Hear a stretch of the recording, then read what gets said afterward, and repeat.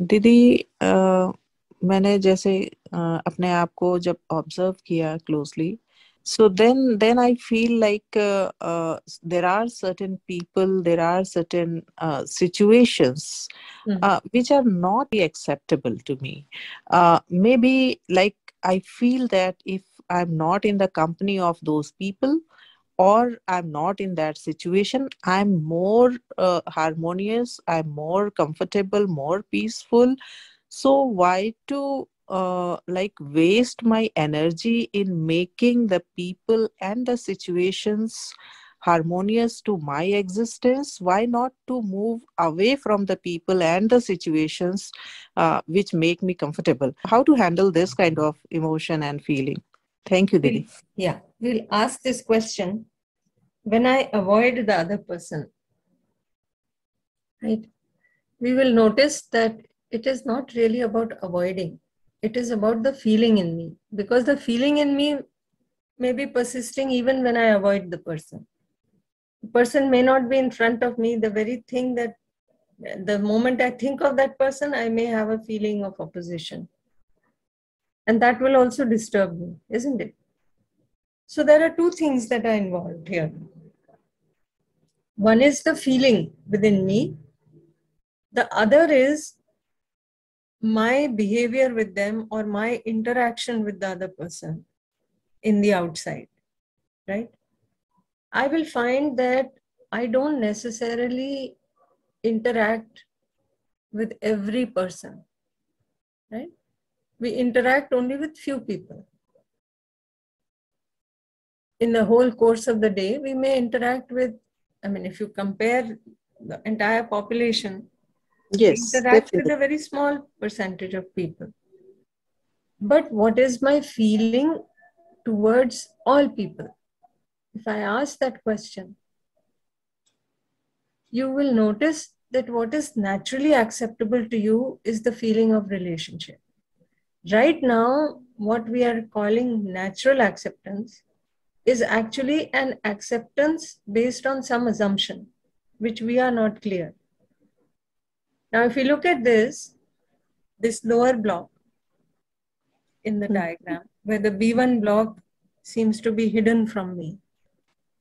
Now, here, nothing from inside is guiding me about the relationship. And I'm not referring to my natural acceptance either.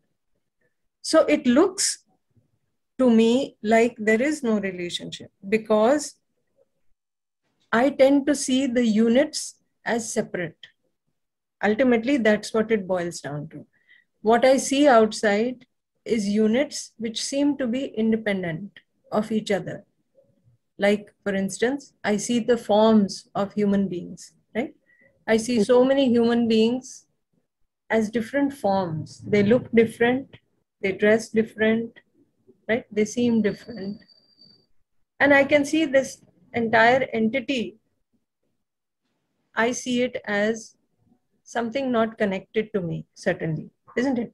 Because if I identify myself, I'm limiting myself to the limits of my body, isn't it? If you see the till the tip yes. of your fingers, hmm? if you look at your hand till the tips of hmm. the fingers, you say, This is me. Outside of that, you say, This is not me, isn't it? So I don't see that connection. Right now, what I'm seeing as relationship is I'm seeing people who have the opinions same as mine. Or maybe, or it may be people who have approximately the same amount of physical facility as me. Or so on. There can be many assumptions on the basis of which I assume relationship on the basis of the body because ultimately deep down I am not fully consciously aware that I am the self. And my relationship is with the self. As my higher activities keep opening up, as I contemplate on the relationship, I will realize that the relationship is already there. And the relationship is already there by virtue of all the units being in space right now because i'm seeing things through the gross body Right now, because I'm seeing things through the eyes, I think that all these units are separate from one another. But actually, it is not like that. We are interconnected very deeply because at the base, we are all interconnected by virtue of just being there in space. We are embedded in space, every unit, and it is interconnected. That realization can come to me only when I am able to see it for myself at the highest activity of the self, the realization. So, in fact, till we are able to get to this highest activity, till we are able to uncover this highest activity within ourselves, we may always keep shifting back to that feeling of opposition because we don't see our relatedness with all. Even so, that glimpse is there in our within us. That glimpse is there in the form of natural acceptance. So even though we haven't uncovered these higher activities, we have a vague glimpse of that in the form of the natural acceptance. But we need to understand the natural acceptance. What is this natural acceptance? This is something that is innate to me, not something that is driven from outside. And you will find that this is the same in all of us in the workshop itself, you may have noticed when we ask the questions about natural acceptance, we get the same answer. If I don't ask you for a particular person, what would your answer be? What is naturally acceptable to you? Feeling of relationship or feeling of opposition? Yes, it is relationship. Relationship. But when it comes to a particular person, we may have had past experiences which were unpleasant. We may have had some interaction which was um, not so to our liking, whatever may be the reason. You will find that you're basing your feeling on that past experience. So it is not really naturally acceptable to you, but because there was some unhappiness that you linked with that experience. Therefore, now you want to avoid that. You still, you know, feeling of relationship is still naturally acceptable to you. But right now you have a different acceptance. I wouldn't say natural acceptance. It is an acceptance. आपने कुछ मान लिया है उस relationship के बारे में.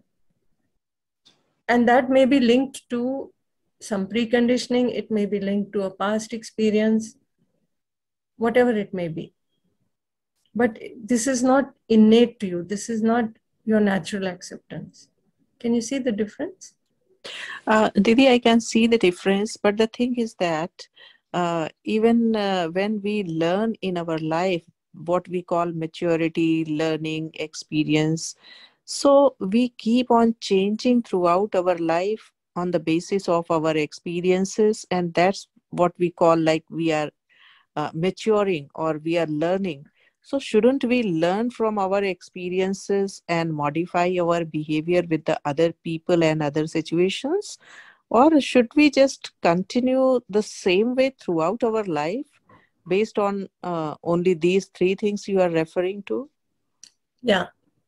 What you will notice is that the moment you have feeling of opposition, you become disturbed.